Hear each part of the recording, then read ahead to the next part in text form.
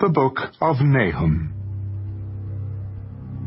The Burden Against Nineveh. The Book of the Vision of Nahum, the Elkoshite. God is jealous, and the Lord avenges. The Lord avenges and is furious. The Lord will take vengeance on his adversaries, and he reserves wrath for his enemies. The Lord is slow to anger, and great in power, and will not at all acquit the wicked. The Lord has his way in the whirlwind and in the storm, and the clouds are the dust of his feet. He rebukes the sea and makes it dry, and dries up all the rivers.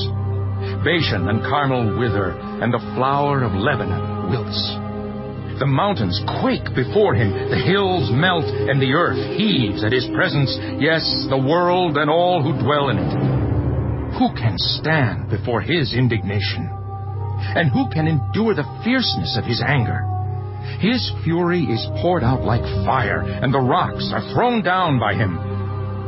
The Lord is good, a stronghold in the day of trouble, and he knows those who trust in him. But with an overflowing flood he will make an utter end of its place, and darkness will pursue his enemies. What do you conspire against the Lord? He will make an utter end of it. Affliction will not rise up a second time. For while tangled like thorns, and while drunken like drunkards, they shall be devoured like stubble, fully dried. From you comes forth one who plots evil against the Lord, a wicked counselor. Thus says the Lord. Though they are safe, and likewise many, yet in this manner they will be cut down when he passes through. Though I have afflicted you, I will afflict you no more. For now I will break off his yoke from you, and burst your bonds apart. The Lord has given a command concerning you. Your name shall be perpetuated no longer. Out of the house of your gods I will cut off the carved image and the molded image. I will dig your grave, for you are vile. Behold, on the mountains the feet of him who brings good tidings, who proclaims peace. O Judah, keep your appointed feasts. Perform your vows, for the wicked one shall no more pass through you. He is utterly cut off.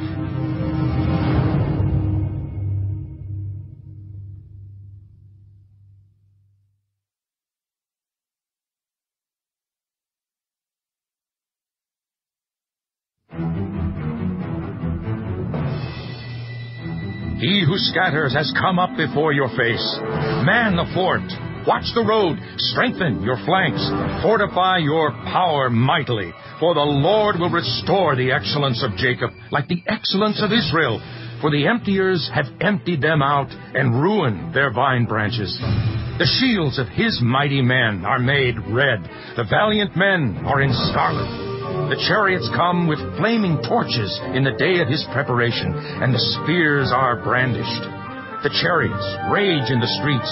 They jostle one another in the broad roads. They seem like torches. They run like lightning. He remembers his nobles.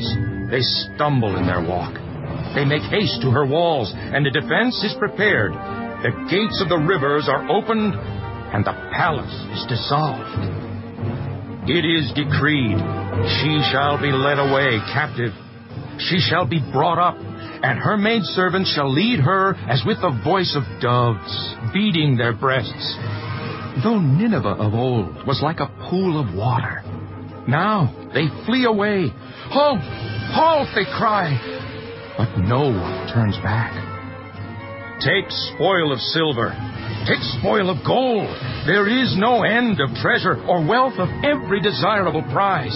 She is empty, desolate, and waste. The heart melts and the knees shake. Much pain is in every side, and all their faces are drained of color. Where is the dwelling of the lions? and the feeding place of the young lions, where the lion walked, the lioness and lion's cub, and no one made them afraid. The lion tore in pieces enough for his cubs, killed for his lionesses, filled his caves with prey and his dens with flesh. Behold, I am against you, says the Lord of hosts. I will burn your chariots in smoke, and the sword shall devour your young lions. I will cut off your prey from the earth and the voice of your messengers shall be heard no more.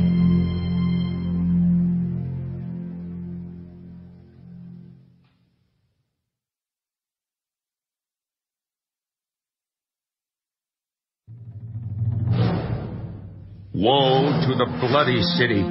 It is all full of lies and robbery. Its victim never departs. The noise of a whip and the noise of rattling wheels, of galloping horses, of clattering chariots. Horsemen charge with bright sword and glittering spear. There is a multitude of slain, a great number of bodies, countless corpses. They stumble over the corpses because of the multitude of harlotries of the seductive harlot, the mistress of sorceries, who sells nations through her harlotries and families through her sorceries. Behold, I am against you, says the Lord of hosts. I will lift your skirts over your face. I will show the nations your nakedness, and the kingdoms your shame. I will cast abominable filth upon you, make you vile, and make you a spectacle. It shall come to pass that all who look upon you will flee from you, and say, Nineveh is laid waste, who will bemoan her? Where shall I seek comforters for you? Are you better than No Amon, that was situated by the river, that had the waters around her, whose rampart was the sea? Whose wall was the sea. Ethiopia and Egypt were her strength, and it was boundless. Put and Lubim were your helpers, yet she was carried away. She went into captivity. Her young children also were dashed to pieces at the head of every street.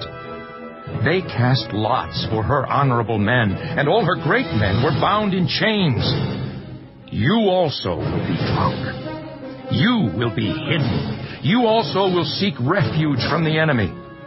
All your strongholds are fig trees with ripened figs. If they are shaken, they fall into the mouth of the eater. Surely, your people in your midst are women. The gates of your land are wide open for your enemies. Fire shall devour the bars of your gates. Draw your water for the siege. Fortify your strongholds. Go into the clay and tread the mortar. Make strong the brick kiln. There the fire will devour you. The sword will cut you off. It will eat you up like a locust. Make yourself many like the locust. Make yourself many like the swarming locusts. You have multiplied your merchants more than the stars of heaven. The locust plunders and flies away. Your commanders are like swarming locusts, and your generals like great grasshoppers which camp in the hedges on a cold day. When the sun rises, they flee away, and the place where they are is not known. Your shepherds slumber, O king of Assyria. Your nobles rest in the dust. Your people are scattered on the mountains, and no one gathers them. Your injury has no healing. Your wound is severe. All who hear news of you will clap their hands over you.